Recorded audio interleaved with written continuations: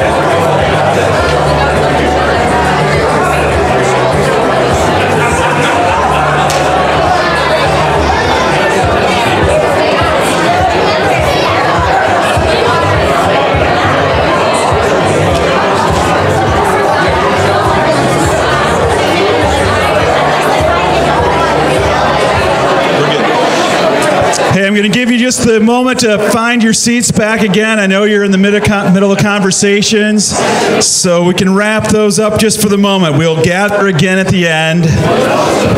So we don't want to stop the fellowship, but we just want to spend some time in God's Word.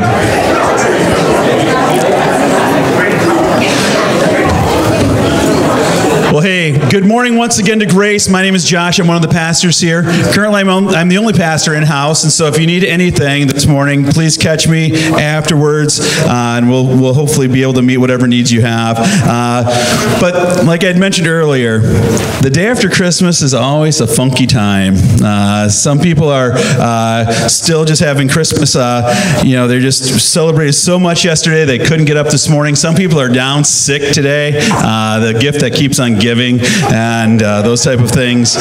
But we're thrilled to be with you this morning. We are wrapping up a series called Anticipation. Next week, we'll begin a new series in the book of Philippians. And so, as you prepare this week, as you read this week, uh, I would just encourage you to check out the book of Philippians. It's only four chapters. It's not a lengthy read, but it's a great opportunity just to uh, let us set our hearts and minds for what is ahead. It's the book of joy, the epistle of joy, the letter of joy from Paul. And Paul uh, knew what it was like to have much. He knew what it was like to have little. And so, I don't know where you're at this morning, but Paul Gets where you're at. So he's been there and he had joy. Uh, but as we come to the anticipation, one of the things that I want you to do before we advance any further, some of you had anticipated Christmas, something under the tree that you were like, man, I'm desperate for this. But maybe you felt this way, and this was an ad that came across my email this morning, and it says this underwhelmed by what was under the tree? Come on over, get what you really want. And uh, I won't tell you what store that is, but they are capitalizing on this fact. Anticipation may not always result in getting what you'd hoped for. But today we're going to talk about the fact that with Jesus, anticipation not only is given, but is also expecting continually to see what he's going to do. So, what I ask you to do this morning is to turn to someone. It can be who you rode with, it can be someone you want to go talk to that you didn't get to talk to in uh, the greet time but I'd love you just to take a moment to share with someone something that you anticipated for a Christmas. It may not have been yesterday, and you actually got it. So some some gift that you'd hoped for and you actually got for Christmas. Anytime through your life, you have two minutes to talk to one another. Set, go.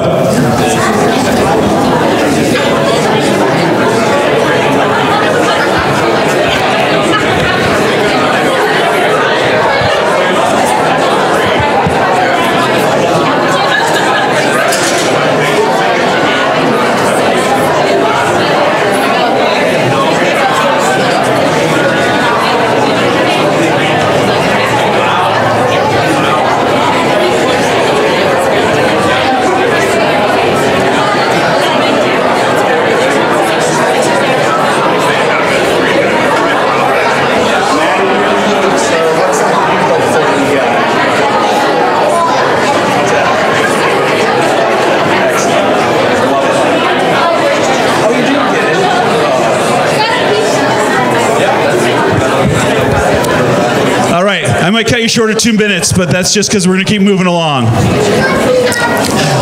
Let me share with you a story that is not from my own personal family life. Well, it's from my family, just not my own life. My brother in law, Mark, has shared this story on a couple of occasions, talking about when anticipation doesn't result in reality. As a kid growing up, and he said if his family showed up this morning, he's like, it's very unlikely, but don't tell this story. But as a young guy growing up, uh, eight years old, family Christmas was coming. He is looking under the tree and he sees under the tree a gift addressed or marked for him. I don't think you say addressing gifts, that's just a weird term. But it was for him. And in his mind, he's like, it's about the right length, it's about the right diameter. I think I'm getting a baseball bat. And he was excited. He was thinking, man, I love that idea. I'm going to get a bat. And that time came around, and as the gifts are being opened, he's like, man, here comes the bat, here comes the bat. He opens his gift. It is not a bat. It is this little base with a metal pole with a little bear at the top that if you flick the bear, it goes like. And then you can do it again. And you can just do that over and over again. And he's like, you know what? For an eight year old, that was the most horrific moment in my life. He said, that I, I had this anticipation of a Louisville slugger. And he says, as I look back as an eight, in my eight year old mind, I should have thought, that's a really short bat. That's a really, th-. but my mind was there. My mind was there. Uh, the reality of anticipation that dropped.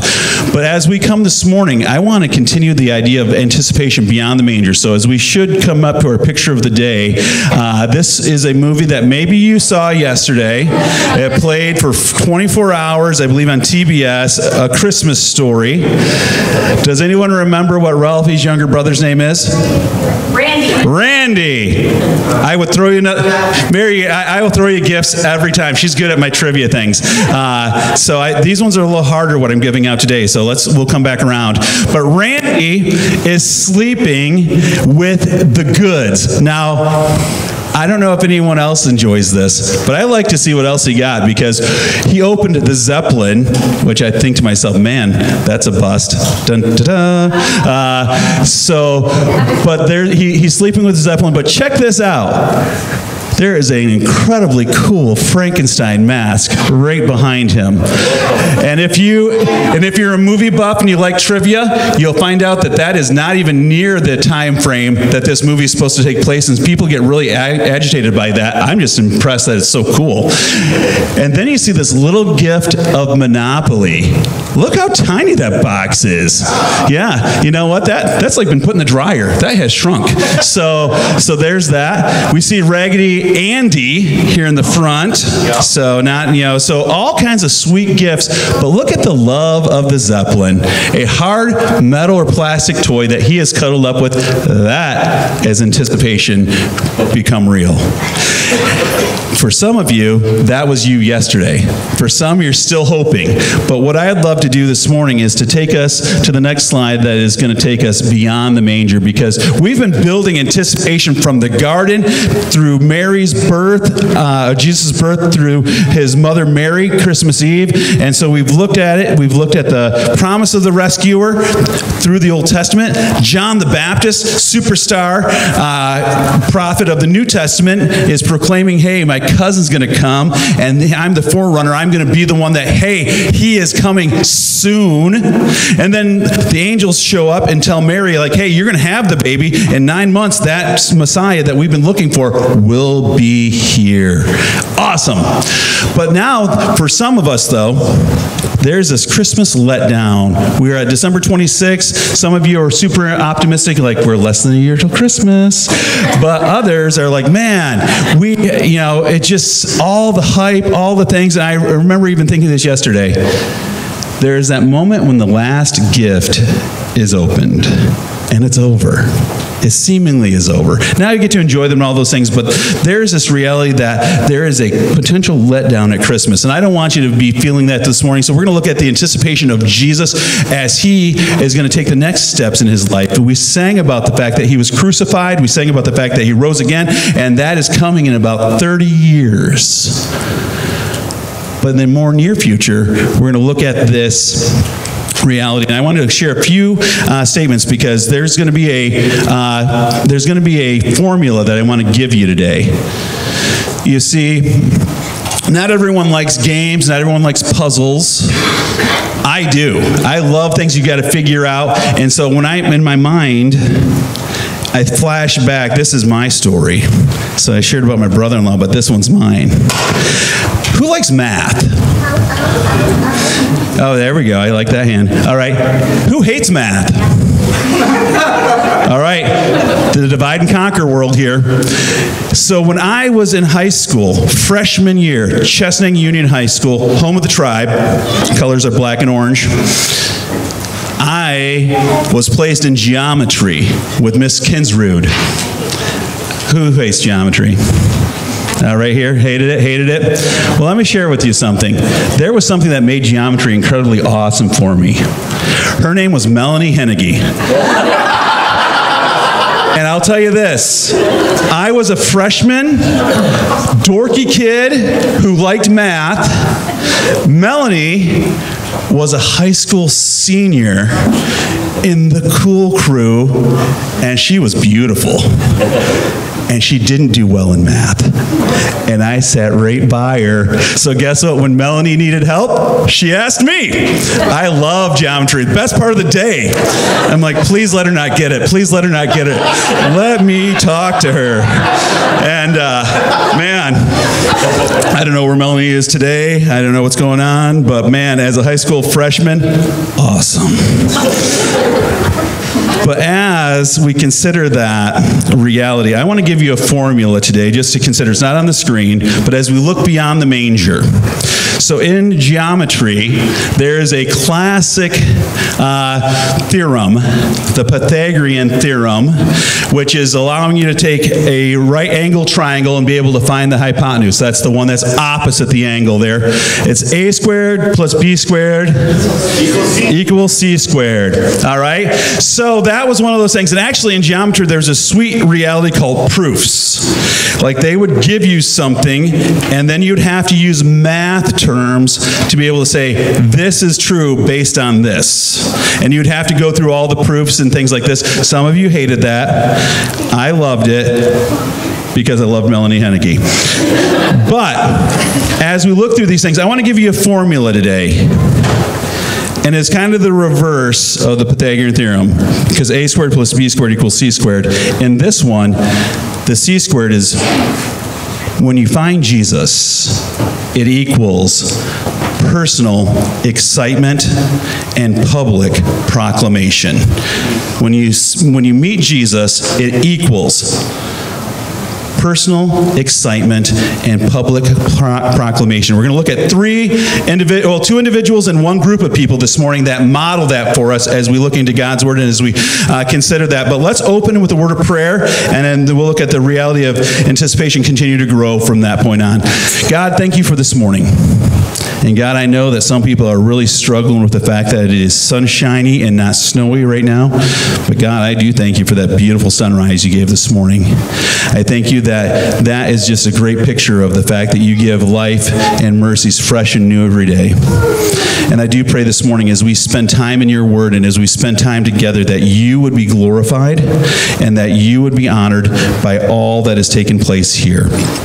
And so I pray for my readers who will be with me today. I pray for the kids who will hopefully uh, join me up here today.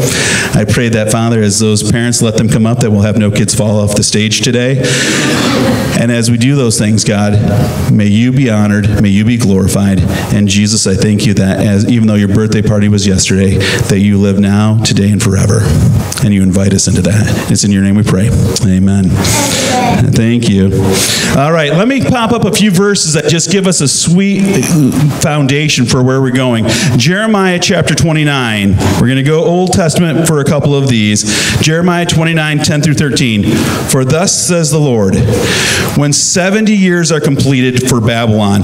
Again, this is when Israel was in captivity. And I love this about God. He is never on a speed track. For some of us, we want things done now. God is on a slow method of bringing about godliness. When 70 years are completed for Babylon, I will visit you, and I will fulfill to you my promise and bring you back to this place. Anticipation. For I know the plans I have for you, declares the Lord. Some of these, you got this in your high school graduation cards. For I know the plans I have for you, declares the Lord. Plans for welfare, not for evil, to give you a future and a hope. And I love this next part. Then you will call on me and come to pray to me, and I will hear you. You will seek me and find me when you seek me with all of your heart that anticipation that we're going to talk about coming through the Old Testament and building all the way to the birth of Jesus, people were seeking Jesus. Seeking the Messiah, the hero to come. And God says, Hey, when you seek me, you'll find me when you seek me with all of your heart. So let me ask you that as we prepare. What is your seek mon, uh, seekometer, so to speak? How much are you seeking Jesus in your daily walk? Uh, are you seeking with all your heart, or are you just saying, Hey, God, I'm going to give you a little bit, and hopefully you come through great? And God says, Hey, come with all of who you are. And then Psalm 27, verses 7 through 8. Uh, I, I got to preach on this uh, a summer ago, and it just rocked my world. Hear, O Lord, when I cry aloud. Be gracious to me and answer me. That's how we come to Him, and we, we want Him to uh, answer our prayers and do these things. And then God says, You have said, Seek my face, and may this be our response. My heart says to you, Your face, Lord, do I seek. This is who I want to be. I want to be a seeker, someone who looks for you, anticipates you, is longing for you. And when that truth comes to reality, when Jesus enters our world, he did that 2,000 years ago when he entered the physical world when he was born. But each of us have the opportunity to meet Jesus as he says, I am here to seek and to save those who are lost. As we seek him, he seeks us, and we enter into a relationship with him. May that be a time that uh, creates this excitement and this joy that we cannot contain. And so we're going to look at something this morning. Three groups of people, two individuals, one uh, gathering, and we're going to see this through three readers. And so this morning I want to just watch this theorem. When we see Jesus, it equals personal excitement and public proclamation. So my first reader, let's see, should be here coming up on the screen. Uh, oh, hang on. Let me let me use this as my. I forgot I put this in here. Hang tight, Phil. Luke 2, 10 through 11. But this, this is where we're in the Christmas story here. Look at this here. I love what we see here. And the angel said to them, Fear not. Kevin shared this on uh, Christmas Eve. For behold, I bring you good news of what kind of joy? Great. Great joy. Now, catch this. Some of us forget how great Jesus is. And you say, I would never forget that. I hear you on that. Mentally, we've get, we we got that. But how often does that just stir within you great joy? That there is just an effervescent bubbling of joy that God has placed within us because we've met the Savior. That will be for who? All people. Catch this. If it was only for the Jews, a lot of us would be left out. For all people, for unto you is born this day in the city of David a Savior who is Christ the Lord. The anticipation becomes real, but now let's watch as Jesus now finds reality in the next reality. And it's going to be this ripple effect. Hit me with this one, Angie. When that ripple effect comes, when we meet Jesus, but you will receive power when the Holy Spirit comes upon you, and you'll be my witnesses, proclaimers in Jerusalem and Judea and Samaria and to the end of the earth. Jets mentioned just before Jesus returns to heaven. But as we meet Jesus and as we proclaim him, it goes out, it spreads to all people. And we love that fact. So I'm going to ask Phil Simons, who is from the ends of the earth. He is from Australia. And so, Phil, come on up. Phil's going to be my first reader as he reads about Simeon in Luke 22 or Luke 2. Is that high enough for you, Phil? Yes, thank you. I want to share with you. Um, just last week, my mind was uh, reminded of uh, a story I told some people, and it happened about about 40 years ago. My wife was uh, and I we just got married, went to Australia, and uh, her first year in Australia having Christmas. So we put this artificial tree up in the front window, and she got her ornaments from America and hung them on the tree. We went out, came back. That tree was like this. It bowed down because the heat coming through the west window melted the, softened the plastic, and the weight of the American ornaments just bowed down. We laugh about it today. You know, we, we reflect. And someone just remind, reminded me last week, and I, I was thinking of this passage we're going to read today, that there's two people, really old people, you know, maybe pick me to do this, I don't know. But uh, really old people who shared, but that, that shows the heart, the knee, and the will to bow to Jesus, to bow to the Lord and praying in, with anticipation. And it's going to be in Luke, whoops, Luke 2 22. When the time came for Mary purification offering to, of the temple, as required by the law of Moses, after the birth of the child, his parents took him up to Jerusalem to present him to the Lord. For these uh, law requires, God said, If a woman's firstborn is a boy, he shall be dedicated to the Lord. At that time, Jesus' parents were offering their sacrifices in pur- for purification either a pair of turtle doves or two young pigeons, which was required by the law. That day, there was a man named Simeon, a Jerusalem resident, was in the temple. He was a good man, very devout, filled with the Spirit, Holy Spirit, and constantly, constantly expecting the Messiah to come soon. But the Holy Spirit had revealed to him that he would not die until he had seen him, God's anointed king. The Holy Spirit had impelled him to go to the temple that day. When Mary and Joseph arrived to present the baby Jesus to the Lord in obedience to the law, Simeon was there and he took the child in his hands and praised God. Lord, he said, now I can die con- contented, for I have seen him as the promised one. I have seen the Savior who is going to give, uh, was given to the, to the world. He is the light of the light will shine upon the Gentiles and nations, and will then be, and also for the glory for the children of Israel. Joseph and Mary just stood there. They were marveled at what they had heard and told about him, about Jesus. Simeon blessed them. Then he said to his to his to Mary, "A sword shall pierce your soul, and shall be uh, rejected by many in Israel, this to un, this to their undoing. But it will be great greatest joy to many of others, and the deepest thoughts of many hearts shall be revealed." Anna, a prophetess, was there in the temple that day. she was the, the daughter of Phinehas uh, of the Jewish tribe of Asher and was very old. she had been a widow for 84 years, following seven years of marriage. That's old. uh, she never left the temple but stayed there night and day, worshiping God by praying and, and offering fasting. She came in alone, along. She came along just in time, just as Simeon was uh, uh, talking to Mary and Joseph, and she began thanking God and telling everybody in Jerusalem what had been happening, and that the coming of the Messiah, Savior, the Messiah, has finally come.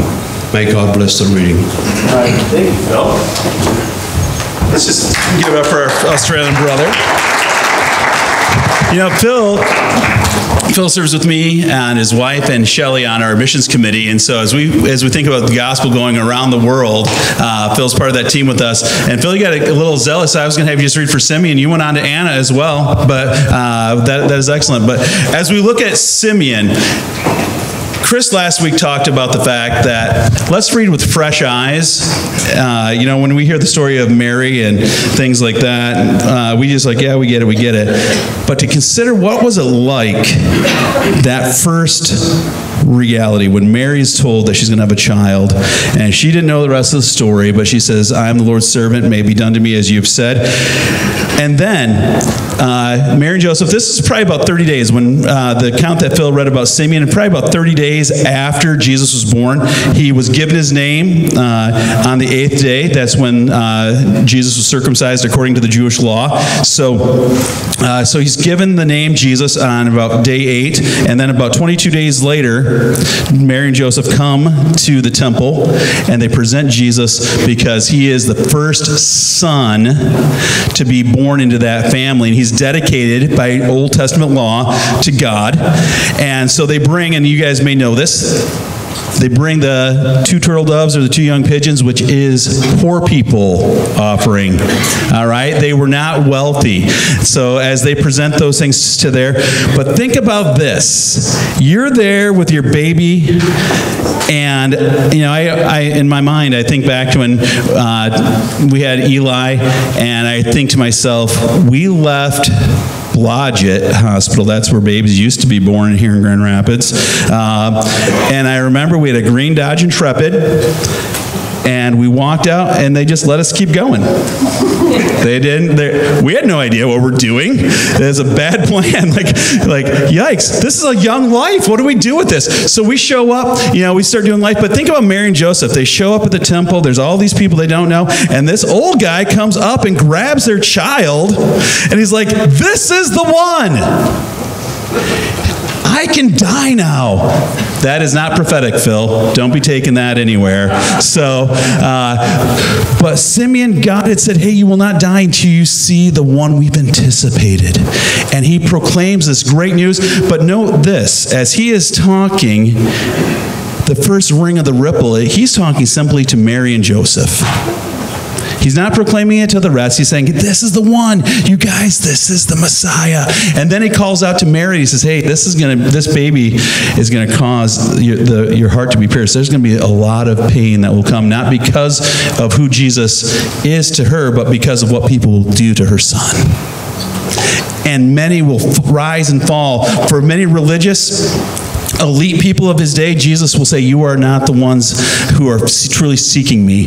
But for others, they'll rise because we'll put our faith in Jesus Christ and he'll be the glory of all the world. And so, what a sweet reality just to see when Simeon sees Jesus, there's excitement. He's like, Now, think about this. How excited he must be. Now I can die in peace.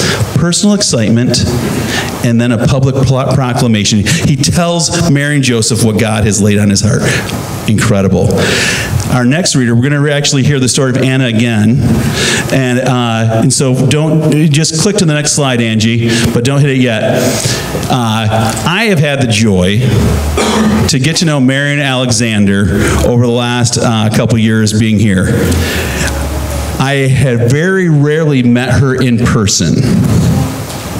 She was on a COVID call list that we had at the church here, and I started calling through a series of people, she being one of them, and I have had the joy of getting to know Marion Alexander. Some of you have known her many, many years. She is going to be reading the part of Anna, and actually, Marion is older than Anna. All right. Marion is 88 years old. You can be praying for her. Uh, I dearly love this lady. She is great. She had a cat that came to the home with her. She lives at Bishop Hills, and that cat was her sweet companion. Her cat has passed away. And so just be praying for her because that's a sad reality. Some of you guys are like, I'm not a cat person. I am not a cat person, but I'm a Marion person, so I can hurt for her. And uh, But she is going to read the part of Anna as well, and we'll uh, then share about Anna in just a minute. So, Angie, let's see if Marion comes to life here. There was also a prophetess Anna, the daughter of Phanuel of the tribe of Asher. She was very old. She had lived with her husband seven years after her marriage, and then was a widow until she was 84. she had worship night and day, fasting and praying. Coming up to them at that very moment, she gave thanks to God and spoke about the child to all who were looking forward to the redemption of Jerusalem.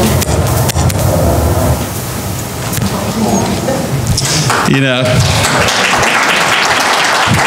What's funny to me is she's like, "You're to show that in church?" She's like, "Oh, I look bad," and she she's criticizing herself. And what's funny is to me, she's like, "Come on, Alexander." she's like prepping herself up for this, and I was like, she. I just thought it was funny that she called herself by her last name. Come on, Alexander, and. Uh, but Marion playing the role of Anna there Now, what I love about her, personal excitement. She sees Jesus. There's the handoff. She sees Simeon doing her thing, and there's this moment here. Personal joy and excitement, great joy, rejoicing.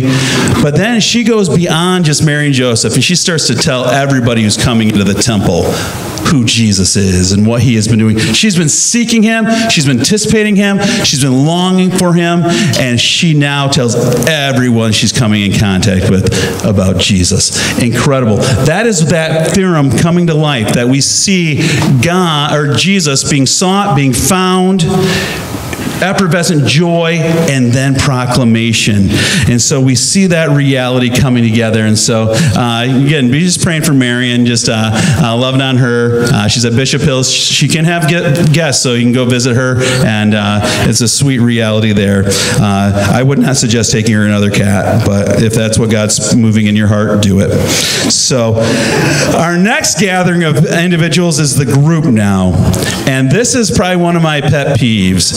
So I'm going to give you a second here. What is one of your pet peeves? Tell someone next to you and ask them not to do it, okay? What is something that really bugs you? Go. That's right, you can talk in church. If that's your pet peeve, then go for it.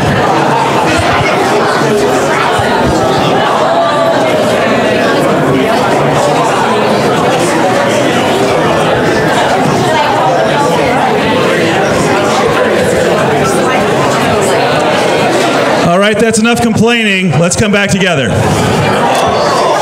So, one of my personal beefs is this the wise men didn't show up at the manger, okay? So, in all of our Christmas pageants and even in our Grace EV free nativity back there, the wise guys never showed up at the manger.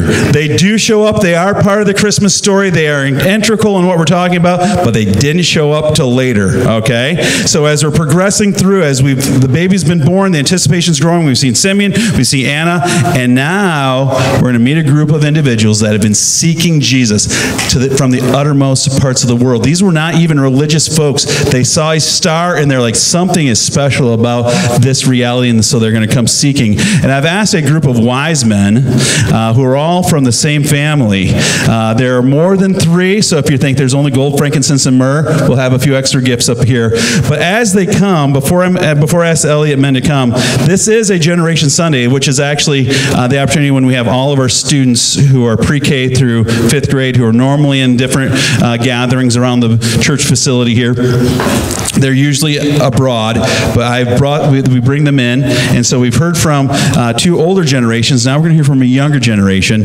But I'm going to ask before they come if you are a student who is normally in pre-K through fifth grade, if you would just come and gather just with me right here, promise that we'll watch the edges a little bit better this time. Uh, and so if you're, yeah, there we go. This is, come on. I'm going to bribe you. I've got gifts again. Uh, last time was oranges, and if you felt let down, I've got non-oranges this time. So if you just come and have a seat right here, you guys. I, that's excellent. That's excellent. So we won't touch any of the instruments. Don't touch the instruments. Then we'll be in big trouble. So yeah. And so so we've got a good gathering of folks here. And so uh, all right. All right. And I, I know some yeah, you can come on down. Come on. So before the wise guys come up, can I ask you guys a couple questions? Maybe just one. So yesterday was Christmas. Did you guys get anything special? You did? All right. Who, who would like to share? Anything? I see that hand. And so, again, best response ever. All right. So watch the edges. And so we'll just start here. And you know what? Just so that people know who you guys are, just tell them your first name and then say, what were you excited about yesterday? My name is James, and I got a phone, and I get to go to Disney. Hello. Call me when you get there. Whoa, sweet dreams are made of these. All right. Who else? All right. I'm just going to. My name is Izzy, and I got a hoverboard this oh, year. Sweet. See, when you used to hear hoverboard, you think like Michael J. Fox and Back to the Future. But Now these kids are like, I don't know who that is, but look at what I can do. So, all right. I just got. And my name is Alberti, and I just got a bow and arrow. Bow and arrow? Sweet. Look what they did with the blowgun up here. If you want to put some arrows in the wall, do that at your house. So tell your dad that's okay. All right.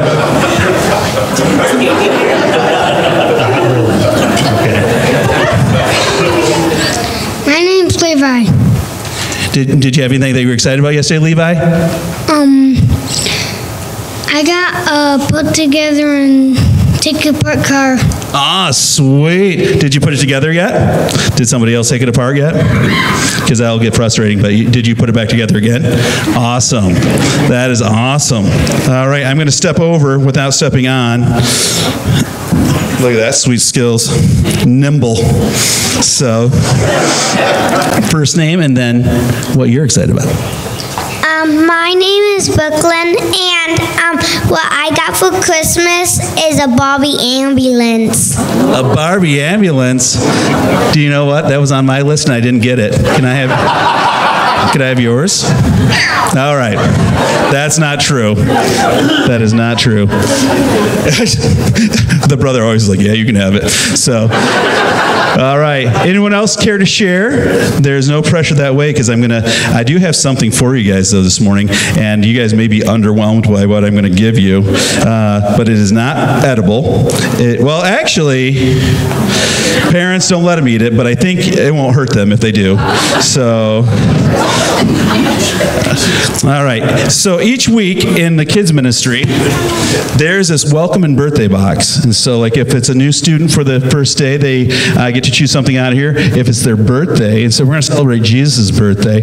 And so in here, and it's all the same things. So if you're like, oh man, uh, but I just have for you just something small, and it is Play-Doh, because I love Play-Doh, and I'm going to tell you why.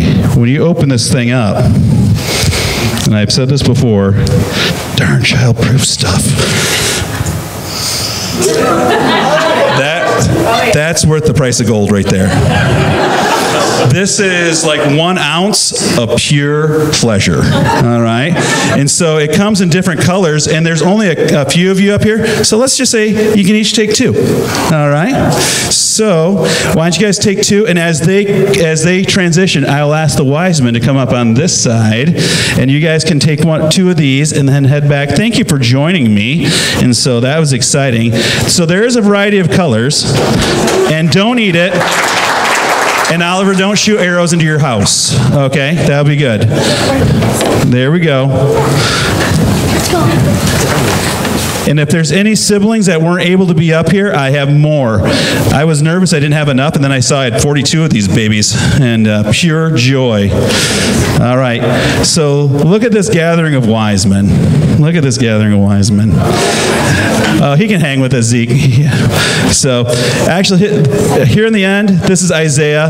I call him Zeke because does anyone know why Isaiah would be called Zeke? Isiah Thomas. There we go. Thank you. Not everyone knows Isaiah. Uh, this is Isaiah Elliott, but Isiah Thomas went by Zeke uh, for the Detroit Pistons, so I refer to him as Zeke. And so, are, is this the order that we're going to be reading in? Somewhat. You starting? All right. So that this this is throwing me off a bit here. So I'm going to come down this way. So again, individuals who are seeking Jesus and watch their response as we come along. And so, all right, Zeke. Matthew 2 1 through 18. Uh, Jesus was born in Bethlehem in Judea during the reign of King Herod. About that time, some wise men from eastern lands arrived in Jerusalem asking, Where's the newborn King of the Jews? We saw his star as it rose, and we have come to worship him. King Herod was deeply disturbed when he heard this, as was everyone in Jerusalem. He would call a meeting of the leading priests and teachers of religious law and asked, Where is the Messiah supposed to be born? In Bethlehem in Judea, they said, for this is what the prophet wrote And you, O Bethlehem, in land of Judah, are not last among the ruling cities of Judah, for a ruler will come from you who will be shepherd of my people, Israel. Then Herod called for a private meeting with the wise men, and he learned from them the time when the star first appeared. Then he told them, Go to Bethlehem and search carefully for the child, and when you find him, come back and tell me so that I can go and worship him too. After this, after this interview, the wise men went their way, and the star they had seen in the east guided them to Bethlehem. It went ahead of them and stopped over the place where the child was. When they saw the star, they were filled with joy. They entered the house and saw the child with his mother, Mary, and they bowed down and worshipped him. Then they opened the treasure chests and gave him gifts of gold, frankincense, and myrrh. When it was time to leave, they returned to their own country by another route, for God had warned them in a dream not to return to Herod. After the wise men were gone, the an angel of the Lord appeared to Joseph in a dream. Get up, flee to Egypt with the child and his mother. The angel said, Stay there until I tell you to return, because Herod is going to search for the child to kill him. That night, Joseph left for Egypt with the child and Mary, his mother, and they stayed there until Herod's death. This fulfilled what the Lord had spoken through the prophet I called my son out of Egypt. Herod was furious when he realized that the wise men had outwitted him. He sent soldiers to kill all the boys in and around Bethlehem who were two years old and under, based on the wise men's report of the star's first appearance. Herod's brutal action fulfilled what God had spoken through the prophet Jeremiah. A cry was heard throughout Ramah. Weeping in a great mourning, Rachel weeps for her children, refusing to be comforted, for they are dead. Thank you, guys. Did you guys care for a Play-Doh? All right. Oh, no. Oh, yeah. You, you'd have been up here any minute. You can take a second one. There we go. I still have some more. So in case anyone's feeling underwhelmed by their Christmas yesterday, this will make things better. but no, as we look at the wise men, so again, they show up in Bethlehem. If you're like, well, how'd that all work? I can't tell you, but I know they didn't show up that night. But when they saw the star where it landed, they greatly rejoiced, and then they worshiped the king. There's an outward response to that. And so, with those readings, I just want to share. Uh, oh, I forgot to say to you students. So, if you got one of my Play Dohs, lift it up high really quick. Let me tell you something. What is the good thing about Play Doh? They, in kids' ministry, were learning this verse. So, if it should pop up on the screen here in just a second uh, for Romans, uh, for Grace Kids, Romans 12, 2. All right? It says this. Do not be conformed to this world, but be transformed by the renewal of your mind, that by testing you may discern what is the will of God, what is good and acceptable and perfect. Play-Doh conforms. Kiddos, the world wants to conform you to its image. Do not let it. Let Jesus transform you. So as you play this Play-Doh, know this. There is a story behind it. There is something God wants to do, transformed in the image of Jesus, the one who rejoices. And so this morning, as we come to our action steps, as we've looked at this theorem, seeing Jesus equals personal proclamation and uh, personal uh, joy and then proclamation. Number one, let me just tell you this week, seek Jesus. So if you're here this morning, you don't know Jesus at all, it starts there. But for those of us, as we consider the start of 2022, let me ask, what are you seeking? What are you really looking for? Are you looking for like better health, better finances, better this, better that? Let me encourage you, seek Jesus. That is the best resolution for whether you know him yet or have known him for years. Seek Jesus. Number two, Rejoice greatly. So I know this on Friday evening, 7:30 p.m. on a public channel of the television. I can't tell you which one. I think it's probably ABC. Michigan will be taking on uh, for the national. Isn't that no, not the national championship? It's the like the who we playing? Georgia. Georgia. Georgia. All right.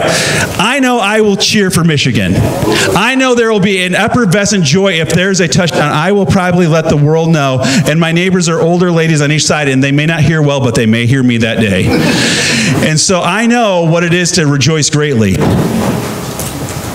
Why do I get more excited about football than I may about Jesus? I do not know. But may there be a change in my heart this year that says, hey, may when I find, when Jesus shows up, when I seek him with all my heart, may I just let the world know. Because that's the third thing I want you to do here. May there be such great joy in me that I can't help but tell someone the good news of Jesus. So let me challenge you this week. Tell someone the gospel, the good news this week. That God loved this world so much that even when we screwed it up, he sent a hero, Jesus Christ, who through him and him alone we can have eternal life.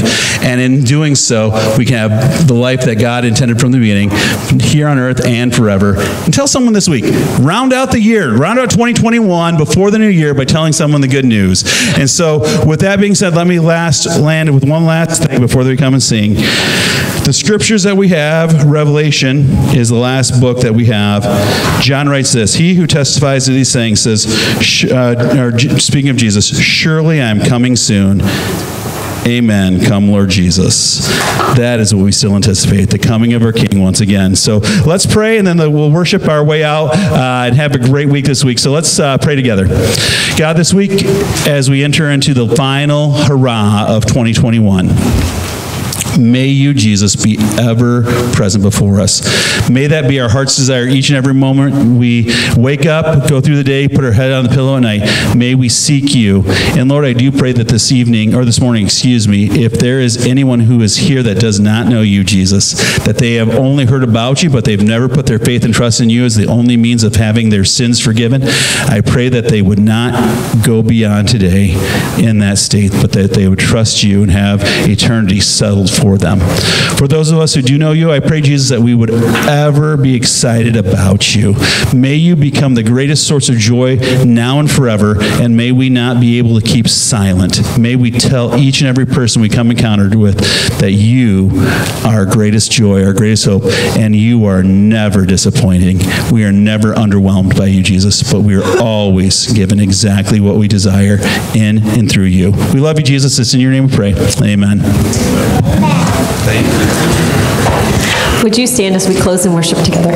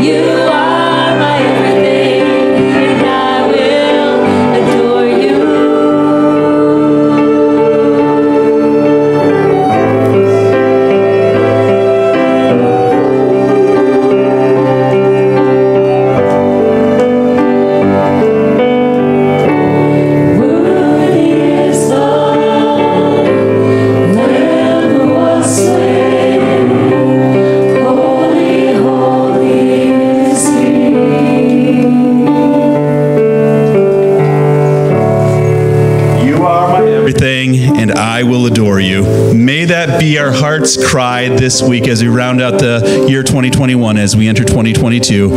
Everything in Jesus. In His name, be blessed. Have a great week, and we will see you hopefully again in 2022.